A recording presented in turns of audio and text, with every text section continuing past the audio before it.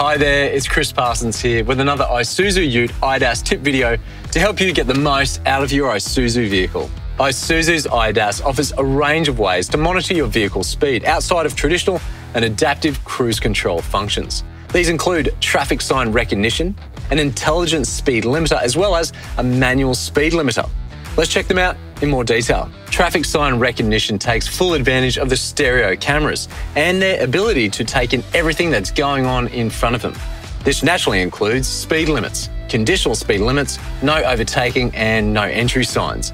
You'll always be able to see the last posted sign visible in the multi information display and you can see a maximum of three traffic signs when you're on the IDAS information page. The key difference between a speed limiter versus cruise control is that cruise control allows you to set and hold a desired cruising speed, whereas speed limiter allows you to set a desired maximum speed limit and you continue to drive as normal. Simply press the mode button on the steering wheel until you bring up speed limiter mode. The lim icon will also be appearing in the display.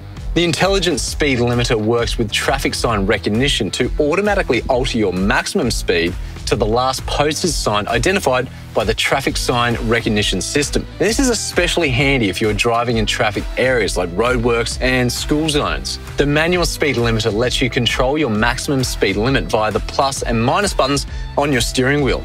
With a manual speed limiter, you can adjust your limit for anywhere from 30 kilometers per hour. To adjust between intelligent or manual speed limiter, first make sure the car is stationary. This allows the settings page within the display to become available. Scroll across using the steering wheel controls and select Settings.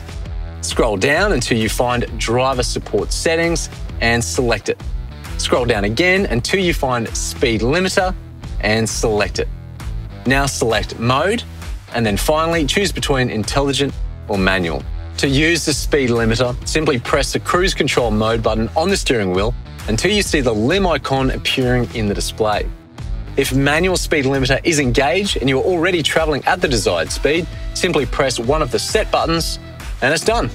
You can always fine tune the speed with the plus and minus set buttons, which adjust by one kilometre per hour. If you press and hold these buttons, they will adjust in steps of five kilometres per hour. If intelligent speed limiter is engaged, it will automatically adjust based on the last identified traffic sign. Both speed limiters can easily be turned off in an instant by simply pressing the cancel button on the wheel or by using the brake pedal. In the event of an emergency where maximum acceleration is required, the speed limiters can also be overridden by fully depressing the accelerator pedal. If you're happy to go back to the previously used setting, simply press the resume button for more easy motoring.